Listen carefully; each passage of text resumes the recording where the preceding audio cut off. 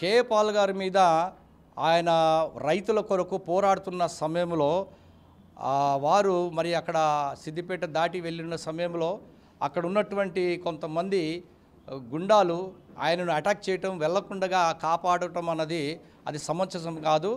మా యొక్క IBP party నుంచి మేము తీవ్రంగా ఖండిస్తున్నాం. ఎందుకంటే ఆయన ఒక పార్టీ యొక్క అధ్యక్షుడు. ఆయనకు హక్కు ఉందండి ఎక్కడైనా వెళ్ళడానికి. అక్కడ అంతా కూడా డిఎస్పీలు ఉన్నారు పోలీస్ బలగం ఉంది. అందరు ఉన్నప్పుడు కూడా అతని పైన చేయి వేసుకున్నాడంటే ఒకటి గమనించాలి. అక్కడ ఉన్నటువంటి వాళ్ళు కానీ కొట్టినతను అనిల్ కానీ వాళ్ళు గమనించాల్సింది ఏంటంటే ఆయన ఒక పూజారి క్రైస్తవ పూజారి. మేము కూడా పూజారులం.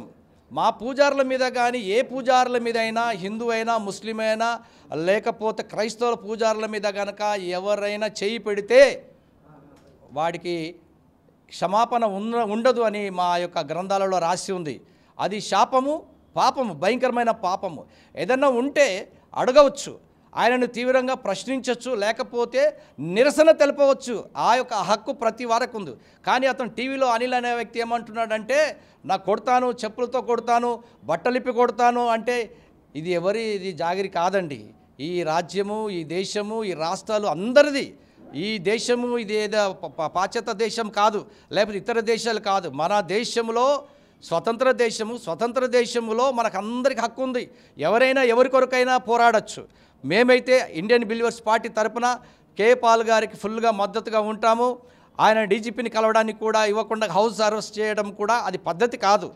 ఎందుకంటే ఆ రకంగా చేస్తే ఈ ప్రభుత్వానికి అది అవమానం. ఎందుకు అంటే అతను ఇప్పుడే ఆ పార్టీని ఈ తెలంగాణలో స్థాపించారు. ఆయనను హౌస్ అరెస్ట్ చేస్తే మనంతటా మనమే మనం ఏం చేస్తున్నాం అంటే అతను ఒక గొప్ప హీరోగా మీరు చేస్తున్నందుకు మీకు ధన్యవాదాలండి ఈ ప్రభుత్వానికి.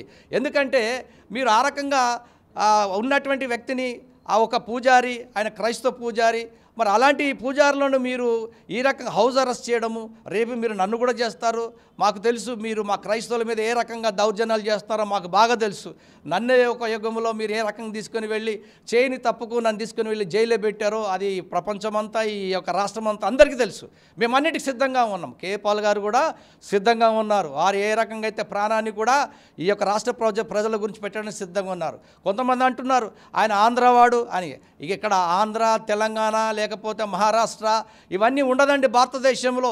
ఈ దేశం అంతా కూడా ఉంది. ఆ ఇంతకుముందు నేను మాట్లాడాను. ఏంటంటే భారతదేశము నా మాతృభూమి. అంటే భారతదేశంలో ప్రతి మనిషికి ఏ రాష్ట్రంలో అయినా కాంటెస్ట్ చేసే అధికారం ఉంది. ఏ మనిషికైనా కూడా ఎక్కడి నుంచైనా రాజకీయం నిలబడే హక్కు ఉంది. అలాంటి ఉన్నప్పుడు ఇది నీ రాష్ట్రం కాదు. నువ్వు ఆంధ్రుడు నువ్వు తెలంగాణడు నువ్వు తమిళోడు లేకపోతే కేరళోడు ఇది చెప్పే హక్కు భారతీయులకు ఎవ్వరికీ లేదన్న విషయము ప్రతి ఒక్క వీళ్ళు తెలుసుకోవాలండి భారతీయులు తెలుసుకోవాలి. కాబట్టి నేను తీవ్రంగా ఖండిస్తున్నాను. కేపాల్ గారికి మా పూర్తి మద్దతు ఉంటుందండి. ఆయన నిలబడతాడు. నూట పంతొమ్మిది నియోజకవర్గాలు నిలబడుతున్నాడు ఆయనతో పాటు మేము నిలబడతాము.